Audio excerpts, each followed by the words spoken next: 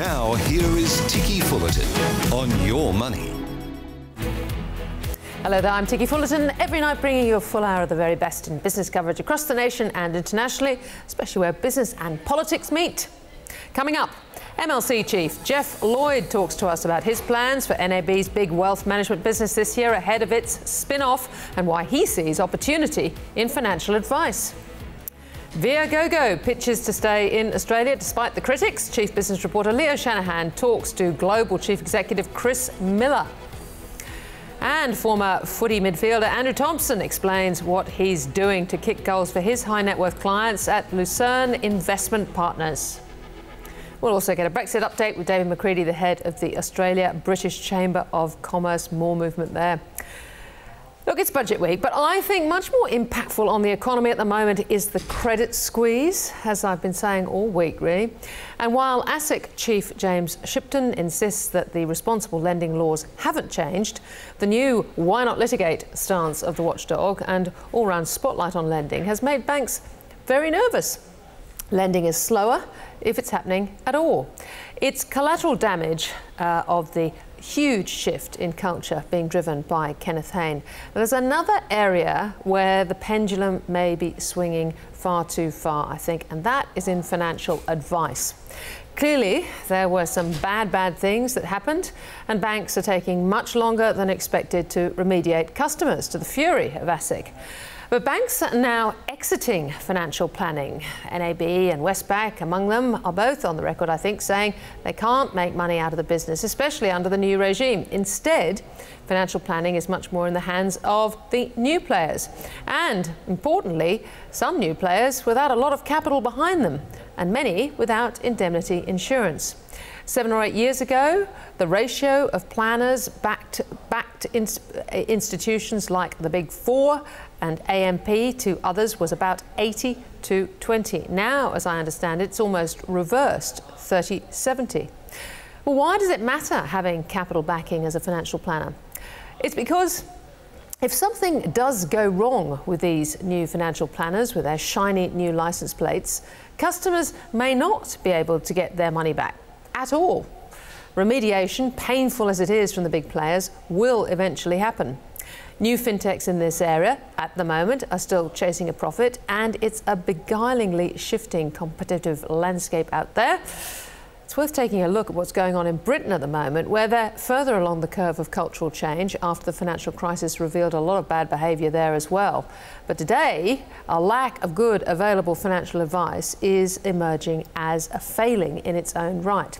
Interesting then that a fellow like Geoff Lloyd last year, the height of the Royal Commission, decided to take on the job of running MLC, which includes NAB's financial advice business. It's being spun off by the bank at some stage soon. Well, Geoff Lloyd sees opportunity where NAB clearly can't. Our interview just ahead.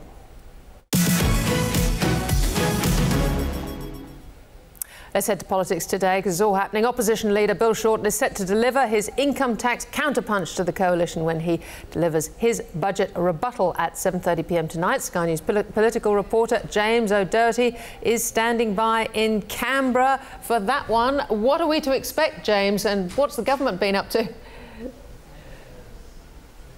Ticky, we can expect bigger tax cuts for lower income Australians. Now, remember, Bill Shorten uh, put a, a, budget reply speech uh, to the Parliament last year with his tax plan and his tax cut plan. That will remain essentially the same tonight, but that includes uh, bigger tax cuts for lower income Australians. The government's plan out in the forwards 2024 25 includes tax cuts for people earning up to $200,000, it would see mm. uh, th uh, those individuals uh, receiving a tax cut of more than $11,000 for in four years' time. Now, Labor is expected to uh, clamp down on some of those uh, tax cuts for higher income Australians, targeting more funding and more tax cuts at the lower end. So we won't see such a flattening of the tax rate from Labor. We will still see structured tax rates with more relief directed at lower income Australians. Right, okay. So, uh, I mean, in, in, a, in, a, way, it's the old war on this particular tax break mm. area, isn't it? And tax reform area. Uh, what I gather the government has actually tried to preempt Bill Shorten's speech. Sure has. They've put around in the press gallery a 16 page glossy pamphlet, as we like to say in the business, uh, some spin uh, that says essentially that Labor is going to have a whole new set of taxes. They're calling it the Little Book of Labor's Big Taxes. We know the government uh, says that Labor has a $200 billion tax burden that comes from the $54 billion it will reap uh, from clamping down on uh, franking dividend imputation credits in the first financial year and clamp down on negative gearing as well. So this a glossy brochure from the government essentially saying that Labor in government would tax you more. The government's message today has been very simply that under a Scott Morrison government you'll get a tax cut and your overall uh, tax burden will not increase. Uh, James, uh, now that we're a couple of days away from the budget, uh, I was down there with you um, and when we were literally pouring out of the lockup. How has the dust settled? Do we think that it's going to make much difference to the polls come Monday? A lot of commentators have been pointing out to the fact that you just don't get a budget bounce these days, Ticky. Mm. You don't get that, uh, what you may have seen in the past, an uptick in the polls from an election year budget in which the cash usually does get splashed around. The only change you may see, people have been speculating, is a, a decline in the polls for Scott Morrison if the budget sell doesn't go particularly well. We've already seen a little bit of a backflip on this emergent, uh, uh, energy assistance payments now going to people on the dole. That's only going to cost $80 million more, so the government dealt with that pretty swiftly. But look, there is also a, a feeling, Ticky, that because the election is uh, so close now, more people may be tuning in to politics right at this moment and paying a bit more attention to this budget because the election is so close. So that might get them looking at some of the measures in that budget and Scott Morrison would be hoping that the headline figure of $158 billion in tax cuts with $1,000 more in your pocket each year will be getting the public excited about voting for the coalition next month. Mm, well, we'll see what happens on Monday. James O'Doherty, great to talk. Thank you. Let's go back now to that interview with MLC Chief Executive Geoff Lloyd. Geoff took up the job running NAB's up for sale wealth management business, including financial planning, last July, really just as the Royal Commission was building up a head of steam. His job is to get MLC shipshape for sale with a priority on reparations in financial planning. I spoke with him earlier. Geoff Lloyd, good to catch up. Now, you've actually advised NAB not to go ahead and fast track the MLC sale. Why have you done that? Yeah, we had a discussion with the board around where the business was at. Know, our priority is to make sure that we've remediated our clients, to make sure that we have a strong business and one that's ready to exit. So, in my mind, you know, it was about timing. It's about us making sure that the business is strong. Um, there's a lot for us to do. We're working through separation, but it's important for us to stay a little bit longer. Now we have the certainty uh, post the Royal Commission to actually act. Yes, the Commonwealth Bank has made a similar decision about its demerger, uh, wanting to focus on remediation. Now we've we've also had the ASIC report, which has come down pretty disappointed on the progress made on re remediation. Is this uh, your number one focus now? Yeah, it's my priority to restore our clients. You know, the, the, the Royal Commission shone a light on the whole industry. Um, it shone a light on mistakes that the industry had made. It shone a light on mistakes that MLC has made.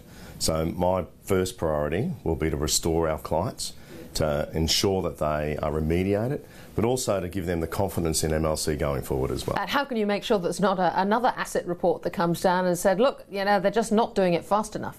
Well, importantly for us, it's about resourcing it properly getting the right skills and experience, partnering, making sure that we do it quality first. Uh, we have to make sure that our clients are restored properly the first time, and that's my priority. Can't be about getting it right and then hopefully later finding out that something else has ha not happened. We've got to get it right the first time. So by the end of 2020 it is, you're hoping that this deal will have been done? Well, yeah, that's exactly what we've announced. We've said that we're on track for separation. We've started that work. Uh, we've started the remediation work and continuing to accelerate it. My, my job is to accelerate that wherever I can, but at the same time to make the MLC even stronger, modernise it. We've done a number of activities since September that have actually returned value to our clients, made us a much stronger competitor in the market as well. Geoff, you're going ahead with financial planning. NAB says it can't make money out of financial planning. It doesn't seem to have a vision for financial planning. Why, in this market, do you think financial planning is the place to be? Well, look, I've been doing this for coming on 30 years, and when I look out and I think about Australians' need for good advice, the complexity of retirement in Australia today, you know, particularly if you get focused on the over 45s, you know, they're about to inherit more than any other generation in this country. Um, Australians need good advice, access to quality advice. Uh, we've restated our commitment to advice. Uh, we're going to commit to the way and we deliver advice much differently to the way we have in the past about focus, being in the right place, focusing on the right clients. So for us, um, we've committed to advice we think it is changing. We think Australians need it. Um, and we're happy to be there. So, post Hayne, the Royal Commission, financial advice obviously is going to be changing. You're going to have to say whether you're uh, fully independent or not. There are other rules uh, you're going to have to look to. Now, what do you think this is going to do to the cost of financial advice for the average person? Look, no doubt it's difficult in this country to provide general advice. We've debated the difference between general and personal advice for a long time. Um, it's very expensive and its costs are going to grow. Uh, the risk profile has grown. The ability to actually deliver that um, in a safe way for clients and a safe way for our business is our priority. But I have to believe that the professional advice is going to offer that outcome to Australians because the need is there. No in terms of value for money? Absolutely. No different to the way lawyers and accountants at that highest level of professionalism provide their services to Australians today. And I think advice can do the same. I was speaking with James Shipton at ASIC the other day, and clearly ASIC is wrestling as well with exactly what is general advice and what is personal advice. What would your advice be to them? Well, look, I think for government, actually, we need to help the regulators and industry better answer that question. Um, we've seen this in the UK post uh, the changes that happened in the UK over five years ago, we've seen a lot of the banks leave advice. And we're seeing UK residents now actually need and ask for more advice. So, why can't we get in front of that in this country? Provide that clarity. That clarity will allow people to get different points of advice at different stages in their life. Beyond financial advice, you've also got uh, three other divisions, don't you? Yeah, we're lucky at MLC. We've got a diversified portfolio of businesses. We've just rolled out our new strategy, and that's about four pillars. And those pillars are individually strong, and we think collectively even stronger. And that allows us to bring those products and services to clients as their needs change. So we're in platforms, we're in corporate super, uh, we're in retirement services, and we're in asset management. With the rise of fintech, why should customers stick with an organisation like MLC when uh, some of these opportunities would appear exciting and, and apparently cheaper? Look, I think in the short term, it's about us making sure that we've re established the confidence in our clients. But over the medium to long term, it's going to be about capability, skills, and experience. It's about judgment, you know, and for, for us, we'd love to be a partner as well with any fintech, any regtech provider, because we see that need and, and, that capability of partnership being one of the measures of success for our business. So you're actively forward. looking out in the market at different fintechs, are you? Absolutely. We, we think that as we create that opportunity around our brand, our business, and what our client needs are, why wouldn't we partner with someone who can help us deliver that? Yeah. Now you've got uh, outflows uh, more than your inflows at the moment. How do you turn that around, especially uh, when the IT sector for investment seems to be industry super at the moment? Hmm. Look, I think it's about superannuation for Australians. Making sure that they get confidence in their ability to plan for and live well in retirement. It's complex. We all live messy, different lives, and you know, as this generation inherit more wealth, then their lives are going to get more complex. And it's not just about the product of super, it's about the concept of retirement. Um, that's about aged care, that's about health care. It's not just about my financial needs. And we'd love to see how we can help our clients retire better not just with their super, but all the other aspects of their life. And, and just going back to fees at the moment, because that in the Royal Commission, indeed the Productivity Commission report, uh, revealed that uh, that was the, the issue for comparing many in the industry fund sector with the retail sector. Now, uh, how do you counter that on fees? Oh, look, I think it's about value. You know, it's actually about value and performance um, of the underlying fund, but also the connection that those clients need with that trusted provider.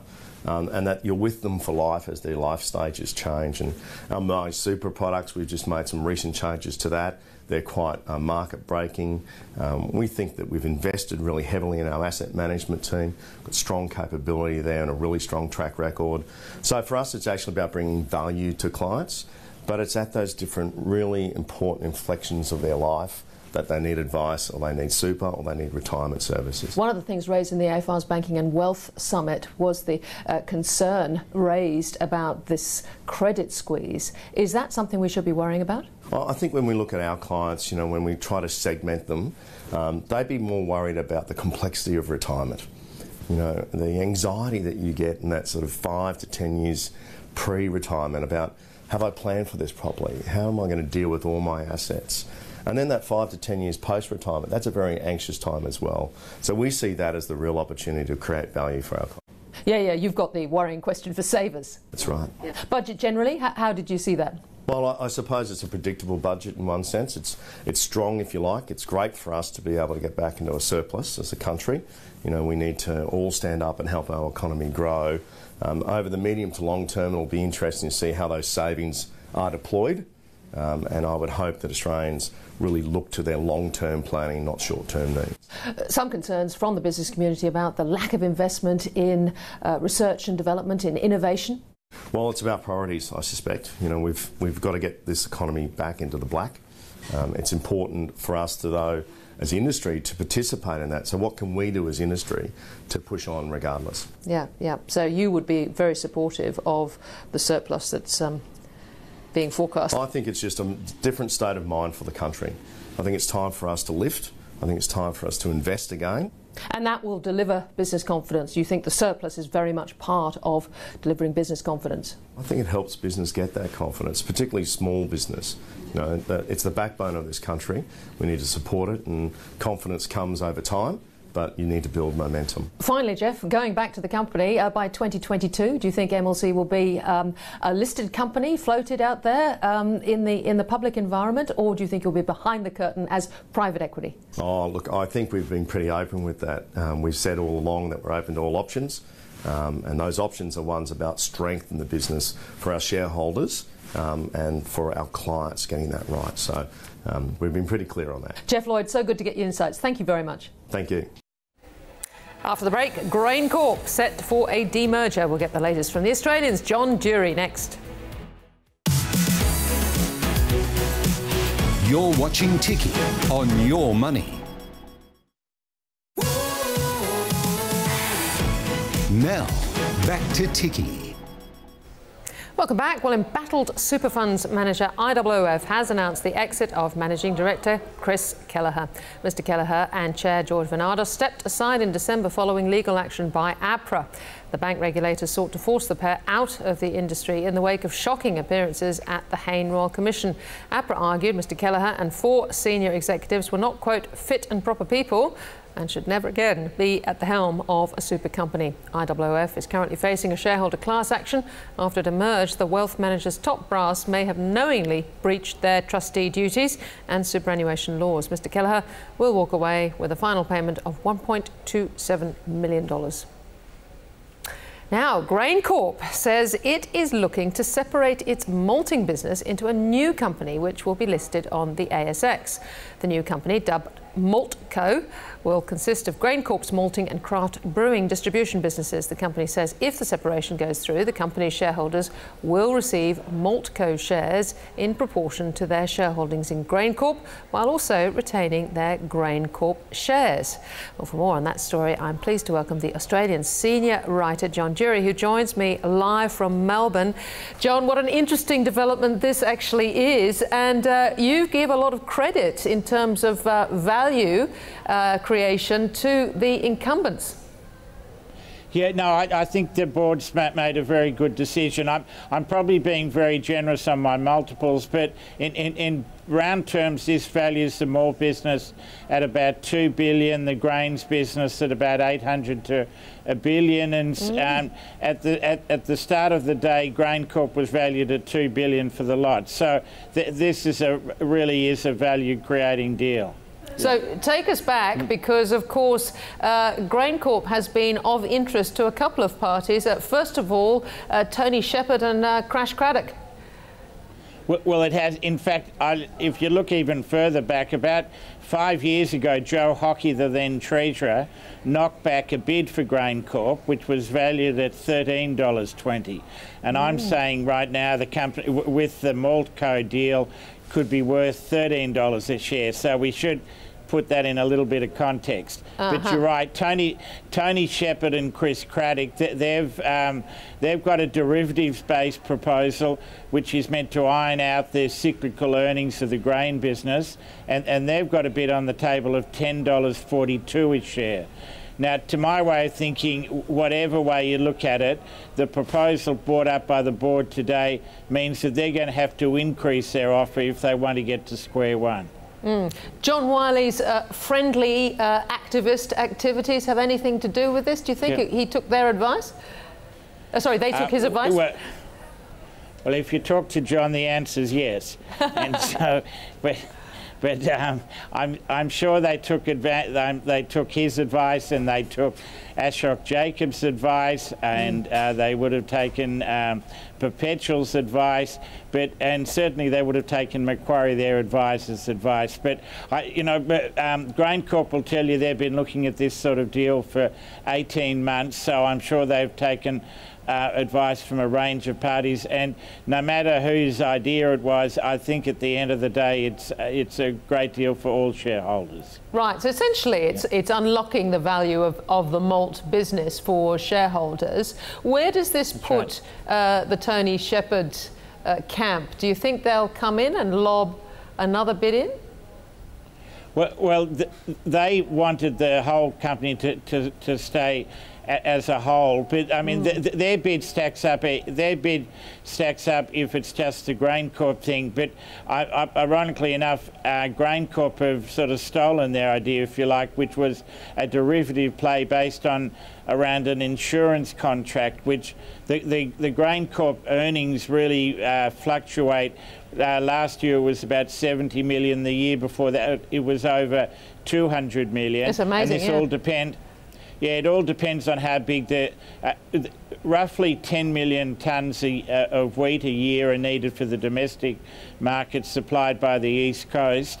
And uh, sometimes the, the, the, crop is up to 20 million, so that means 10 million gets exported, and that's a, a bumpy year for GrainCorp. But last year wasn't so good, so that's so that's why you need the derivatives contract that, uh, remember about, you know, uh, back in 2009, that's why GrainCorp bought the malt business and then a couple of years later the, the oils business because it wanted uh, steady cash flow to, to match the, the unpredictable earnings from, from, from the uh, from the grain, and so mm. it, it, it, so they're using the derivatives contract in, instead of a, a real business like malt. Right. So, so really, the the way forward is for shareholders to sign off on Graham Bradley's deal. I, well, absolutely. I, I, well, let's wait and see. There's a there's a, a deadline of uh, May the 10th for the um, Tony Shepherd deal, which is um, because that was the day that. Um, a, a, few weeks ago, GrainCorp also announced that they're selling their their uh, bulk liquids terminals to a crowd called ANZ terminals, mm. and, and and that deal that deal um, kicks off from. Uh, May the 10th, and so that's really been regarded as the drop dead date for the for the Tony Shepherd's deal. So let's see what what happens on that day. Yeah, but do you think, uh, you know, broadly, where do you see this going? Is is the Tony Shepherd option still alive? I guess is what I'm asking. Yeah. Well, well, I, well, I, I, think if the Tony Shepherd's offer is still alive, he, has got to increase his offer because 1042 yeah. just isn't going to cut it. Yes. I, am really, and I, I, would imagine that that malt is in uh, high demand around the world right now for a couple of reasons. In in Scotland, uh, whiskey's going gangbusters because the Chinese have discovered a liking for it in, in the US and really around the world, craft beer is getting popular, and so malt is, is, is a big, is a high-priced commodity right now. You know, for however long that lasts, and mm. so I wouldn't be at all surprised if by um, GrainCorp have said that their deal will happen at the end of this year, but it wouldn't surprise if other bids came in ahead of that time. So I'm thinking by calendar year end we might have the Tony Shepherd proposal, or, or we'll have a, another bid for, for the malt business. And any way you look at it, I think it's a great day for GrainCorp shareholders. I agree with you 100%. Okay. John Durie, thank you. Mm-hmm. Thank you. After the break, ticketing trouble for Viagogo. Viagogo's global CEO, Cris Miller, next. This is Ticky on Your Money, covering the big business stories.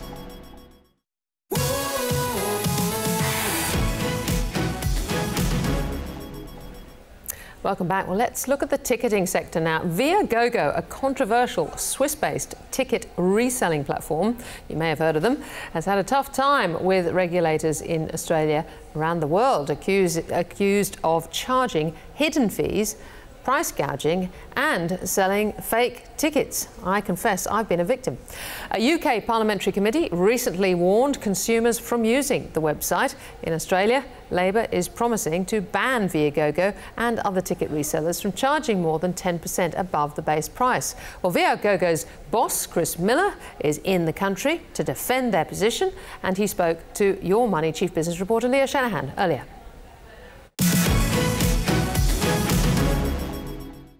All right, Cris Miller, thanks so much for joining us. Thanks for having me.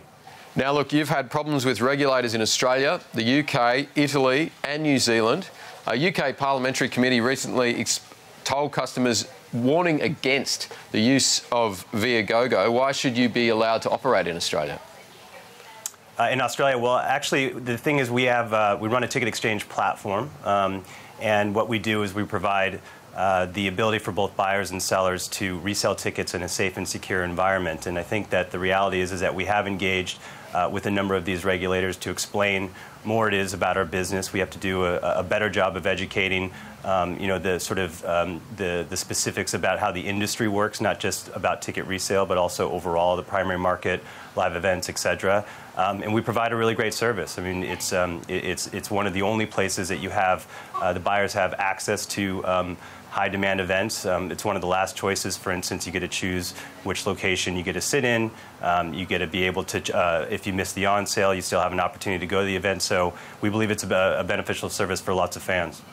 Okay, so a major critic of yours in Australia is a, is a Labor a big music fan, uh, Tony Burke. He's likely to be a cabinet minister in a possible Labor government. He tweeted out last year. Never rely on Viagogo. Only buy tickets by going to the page of the artist or venue and follow the links. There are too many stories of rip-offs and fake tickets from resellers. He cited one example of being taken to a Paul McCartney concert on your website, which it turned out to be a Paul McCartney cover band.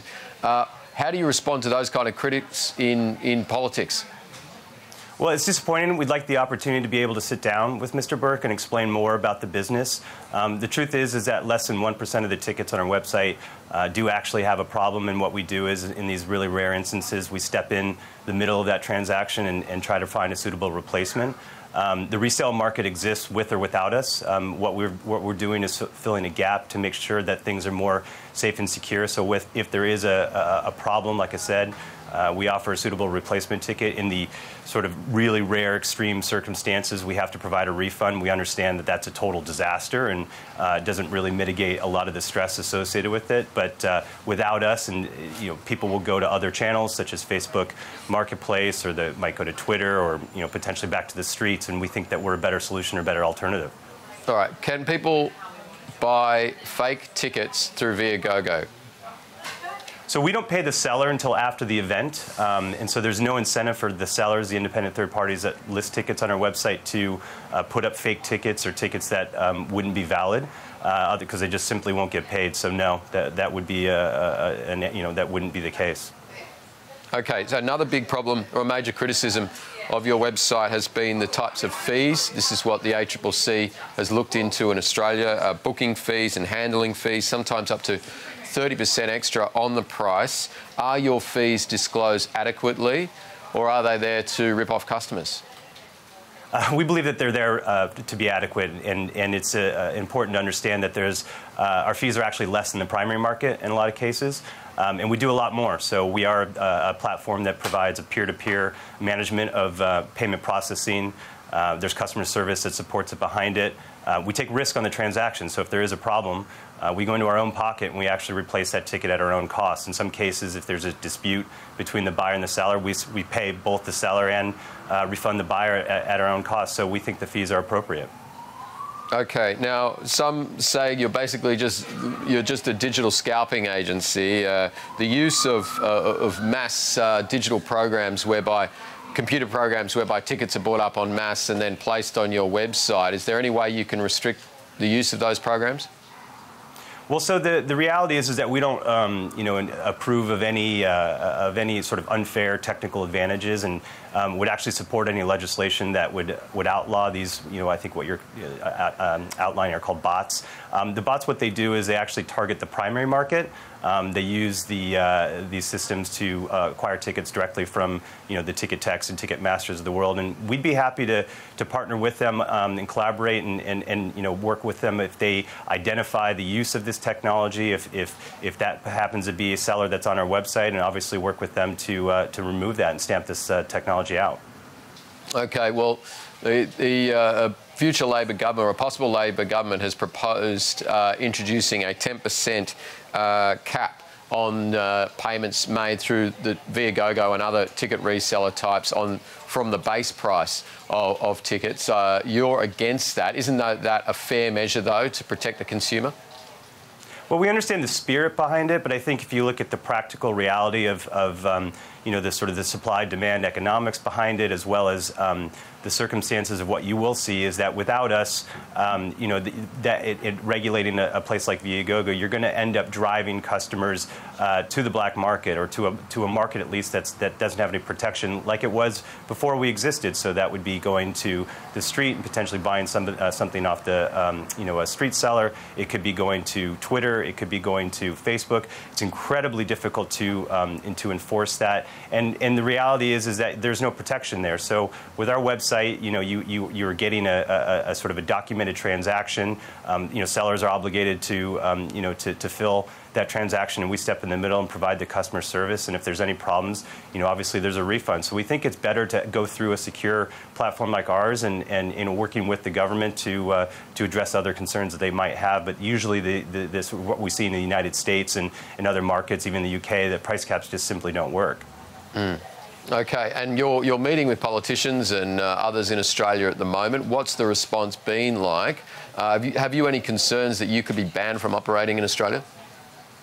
Well, I think that the, the concern would be is that the fan, um, you know, would be left out. The, the reality is is that um, you know the, the event organizers and primary market don't offer refunds. So you know, what is the alternative if you don't have a platform like ours to be able to resell a ticket? There's many, many instances where people have reasons why they can't make it. These events go on sale nine months in advance, and you know, lots of people have no idea when they're going to be nine months, and, and, and not giving them an alternative uh, to resell is, is, is, one piece. So you have to look at that. The second thing is is that um, you know, look, there's it's a complicated market. There's a lot of things that go into it. The event organizers and primary market allocate tickets to sponsors, and and uh, there's venue holds, there's insider holds, there's there's all sorts of things which end up on our on our marketplace as well. So I think the, the truth is is that um, what what I'm here to do and what we'll continue to do is is, is sit down with um, MPs and other people in the government and, and explain to them all the realities of the business and, and not only how our site works and, and, what we're willing to do, but also making sure they understand that of how the uh, overall event or um, the event industry works as well, because it's important that you really dig in and learn more about it. All right. Well, Cris Miller, thanks so much for your time. I appreciate it. Yeah, thank you. Now to where footy meets funds management. Andrew Thompson played over 200 games with St Kilda from 97 to 2007, a best and fairest winner with the Saints. But he was drafted pretty late uh, when he was already 24 and with a family in broking and a good job in finance. Today, Andrew Thompson runs the Growth Fund for Lucerne, the company he co-founded just over three years ago for his high net worth clients with a business model that fits pretty well with the world post the Royal Commission. I spoke to him from Melbourne.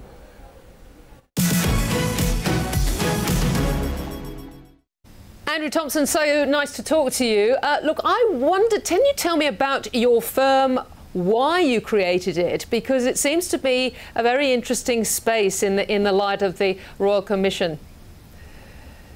Yeah, hi, Ticky. Uh, yeah, so the background of the firm is we um, came out of Canaccord, so decided to start our own business on the back of trying to get some independence. Um, I think when you when you look through some of the uh, broking firms and the way they have operated over a long period of time, it's obviously the, the research is driven a, lot by the uh, by the corporate uh, desk, corporate department. So, mm. as much as we enjoyed working at Canaccord at the time, we decided that getting a uh, starting an independent wealth management firm, and we've been running the wealth management department at Canaccord for uh, a couple of years as a team. Mm. But yeah, it was more about getting that independence and starting our own business, and not being aligned to any of uh, any of the conflicts that um, that sometimes can can come out. And we saw it, you know, with the results of the Royal Commission.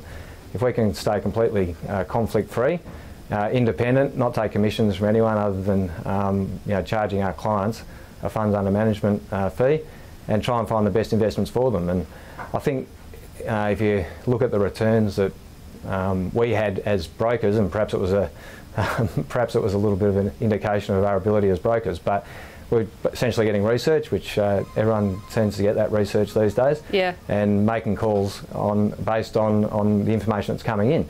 And clients all had different portfolios, and the results of you know, some of those portfolios weren't, weren't as good as what we have been able to achieve when we've gone and found specialist fund managers who can um, focus on one part of the market, whether it's you know small cap, mid cap, international, you know, long short. Yes. And then we also have a, a, um, a, manager, Marcus Bogdan, who appears on Your Money quite frequently. He looks after our ASX 200 exposure. And I, I say to clients, I, I, spend a lot of my time actually spending, um, you know, catching up with the clients and going through portfolio reviews. Uh, whereas Marcus spends all his time out speaking to companies and trying to find the best ones to invest in. And uh, the, the, returns that he's had, particularly in down markets, has, has been quite compelling. So, so that, that's the reason we started the business. And um, so far, we've been going for three and a half years, and it's been growing quite strongly. So uh, this is the, the, sort of fund of funds that, that you run. Uh, what sort of returns are we talking about over the last three years? Well, I think the fund of funds is, is just a part of the business, and that's been running for 12 months. Uh, but what, we what we've actually tried to build is a number of different investment options for clients. So they can go into the uh, long-only ASX 200 uh, exposure through through um, Blackmore Capital, which is run by Marcus. Yes. Then the fund of funds is um, is an aspect, and that's predominantly got alternatives in it at the moment. And the reason it has the alternatives is to try and complement the long-only exposure that clients have got through through the ASX 200. And then we also build some uh, other funds around the client's portfolio because some of the high net worth clients are, are, keen to get some directional exposure. So they might want to have a larger exposure to small mid caps. They might want to have larger exposure to something like Totus, uh, who is a, you know, been a very successful uh, long short manager, particularly on the short side, or someone like Bronte, who is predominantly long short overseas, international uh, exposure. So the the invest uh, the, the, returns you know, clearly where the uh, fund of funds is trying to get returns of around about eight percent, but it's always going to be driven by the markets and particularly with what happened in the uh, last quarter last year internationally, the mm. markets all got sold off uh, reasonably hard, and that's going to impact returns, but also the uh, the, the, ability to um, recover from those returns, uh, which has happened in, in this quarter this year, has, has been quite strong. But and, and what about the, what the long only exposure to give you some Yes. Sorry, to give you some numbers, Marcus Bogdan's uh, returned about 7% uh, across both his SMA portfolios, uh, which sits about 2.5% above the ASX 200 accumulation index for this financial year. Okay, so um, how do you you see value investing, or how do your clients see value investing at a moment in in a in a market really where broader investment, index hugging, uh, you know, it's it's not that hard to do reasonably well, or hasn't been in the recent past. Yeah, it kind of makes us all look very smart at the moment because you can you can invest in the market and it just seems to keep going up, but really the the thing that um, we try and highlight to clients is when the market falls, as we saw it fall in, in February, March last year, and then obviously in the December quarter, mm. is to try and protect the capital. So if you've got good quality companies in your long only uh, portfolio, uh, particularly in the ASX 200, then you, know, you tend to be able to protect some of the um, some of the wealth based on the companies that you invest in. Uh, and then the other thing is if you've got some exposure to alternatives, long shorts, the long shorts should outperform in that part of the market. And Lucerne Growth, which is the fund of funds, if you go back to March last year, the market was down 3.7%. Uh, Lucerne Growth was down 0.38. So it just gives a bit of a higher base to, to right. bounce off from. But if you, if you look at the exposure that we've had in the ASX 200, uh, value investing has been, if, if, you break it up into, into three parts, you've got growth investing, um, you know, the value investing, and then Marcus Bogdan also looks at uh, value at a, at a decent price and um, sorry, quality at a decent price. So value's been the lowest um, performer out of those three three different um, uh, ways of looking at the market. Uh, growth has clearly been the best, but the, the greatest issue that I think uh, the fund managers that we use at the moment have got is they say, well, do we just keep chasing uh, growth at any price? And Afterpay's been an example of a stock which has been tremendous, and I've followed it since it was uh, four dollars, and it's been a, a great stock for some of our clients. But it gets hard to understand, you know, a $5.5 billion market cap, yeah. and the share price is about $23.40, and last year I think it lost $20 million. So yes. Um, I think it's a brilliant uh, uh, company, and the, and the idea behind it is outstanding. It's just a question of, well, do you, do you, keep holding it, or do you chase it when it's already had a run? And, and, and that's a difficult decision that the fund managers have got to, um, to you know, make. All right. Now, another part of your business, obviously, is um, is uh, M&A. Um, now, you yes. uh, have quite an interesting approach as well to mergers and acquisitions, and uh, I, I, gather you're looking quite, uh, or some of your clients are, quite closely at the Wesfarmers play with Lynas. Well, yeah. So um, we mainly leave the M&A activity to Harvest Lane. It's an event-driven fund manager based out of Sydney, right? And they look at any any M&A activity, and then they'll decide whether they're going to enter the market and buy the stock once the deal's been announced. And for the most part, that works out pretty well. Uh, they've had, had reasonably strong returns since they've been running the fund, but they can also get caught out, and we we saw uh, McMillan Shakespeare walk away from Eclipx, and, and, that obviously hurt some of the managers that were holding Eclipx and, and, part of that deal. But yes, we do have some clients who were quite uh, interested in the lithium and rare earth space, particularly when it was running hard uh, 18 months ago, and some of the clients still hold Lynas. And when Wesfarmers put that surprise bid in uh, for Lynas at $2.25, I think the stock was trading about $1.60 at the time. I clearly got a couple, uh, couple of clients reasonably excited. Uh, also, a couple of our fund managers, uh, fund managers, um, uh, Newgate's one, and I know L1 is another. Uh, but hold Lynas, obviously, you know those types of things help, but it's very hard to predict. I don't think anyone in the market really saw Wesfarmers as a as a suitor for Lynas. Yes. But yeah, it's nice when it when it plays out that way. Yeah.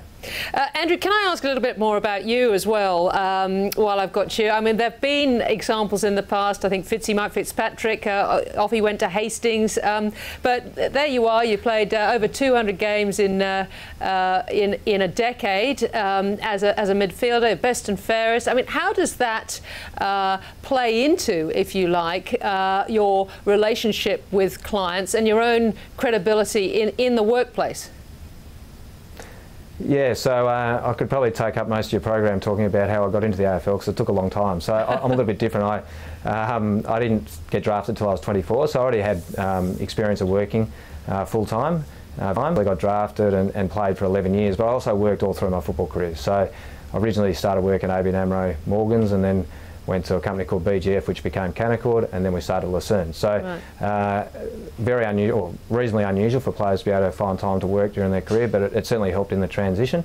Uh, and look, it's interesting speaking to clients. Some of them say that when you're out on the football field, you obviously have to make quick decisions about what you're going to do out, out on the ground. And uh, some people have said that that has helped in terms of when you're making decisions on stocks, because you, you actually have to make a call sometimes reasonably quickly on it.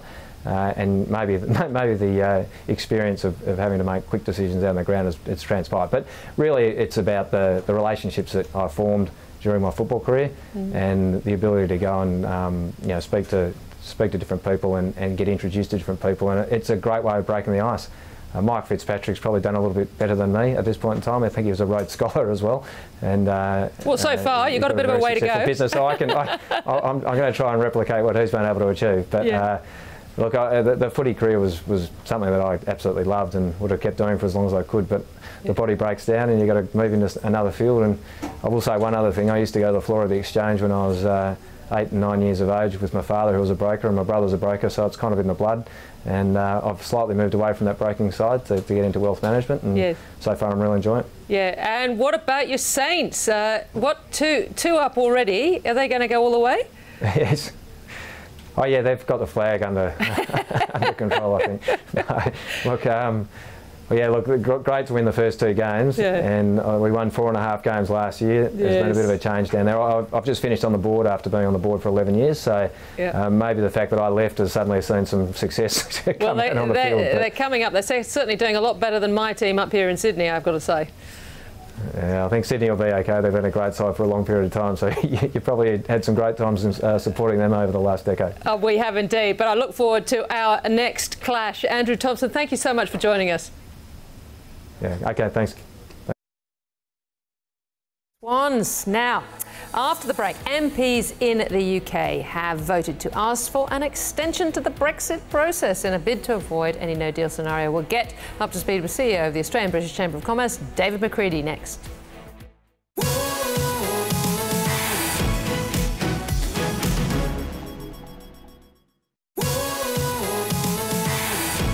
Now, back to Ticky.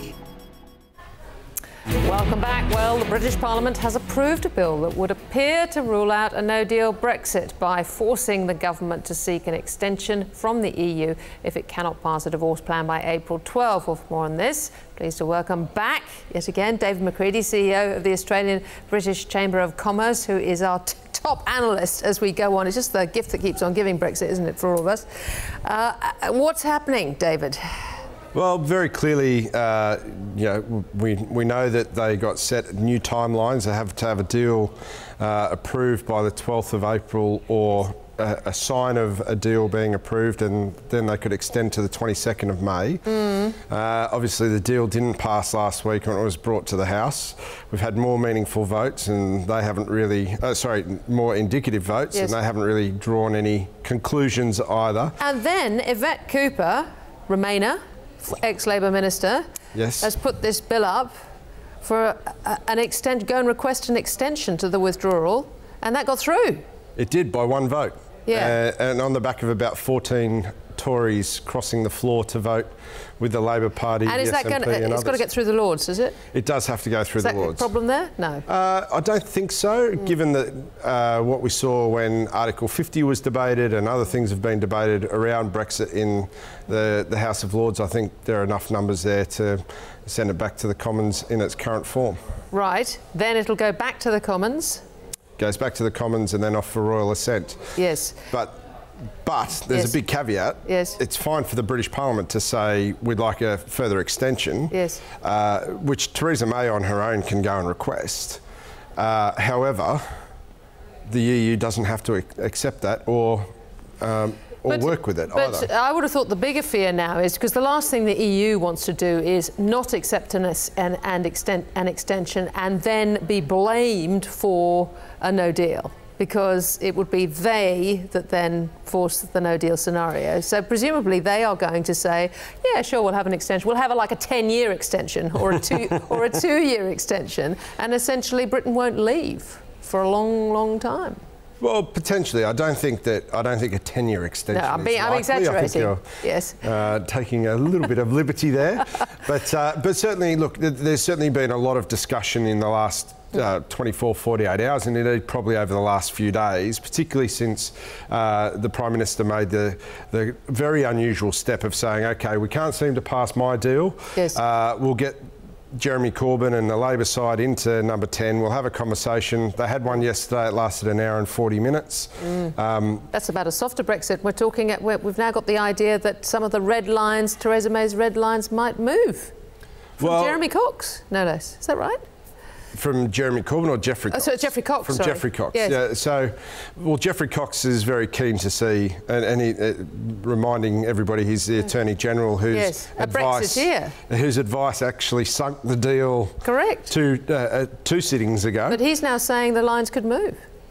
Well, potentially. Um, if you've got to get a deal, you've got to find a way to yeah. negotiate a compromise. And, and uh, whilst you might have some fairly firm ideas about what you will and won't compromise, when you come down to the end of a negotiation, those things amazing, get tested. Amazing. Now, look, as the uh, fellow in charge of promoting trade between Britain and Australia, I thought you might be amused, if you haven't seen it already, with the budgie smugglers advert. Here's a little bit of a clip I think we've got, David.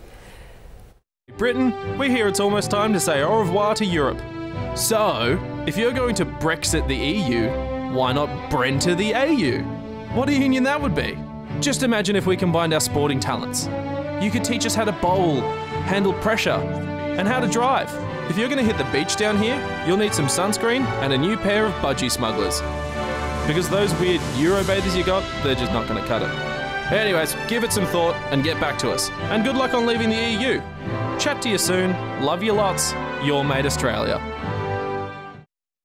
Any surprise they want to leave the Brexiteers with those sort of Eurobathers? Uh, I'm not going to make any comment on uh, fashion. I don't think that's my area of expertise. But, I mean, look, that's opportunistic trade for you. But look, the bottom line, of course, is um, if, if they do end up uh, not leaving, uh, there is no free trade deal. We've got to remind ourselves with, with, with Britain. Then it goes through the European free trade deal. Yeah, so we're negotiating a free trade agreement with the EU concurrently at the moment, Australia at the moment. Mm. Uh, not concurrently because we haven't started negotiating and we can't until they actually leave. Yes. We were hoping to maybe have been able to start a free trade agreement uh, you know, negotiation uh, about now because we're post uh, the initial date of the 29th of March, but obviously that hasn't happened. So we uh, wait with bated breath for them to finally leave the uh, EU and then we can start that.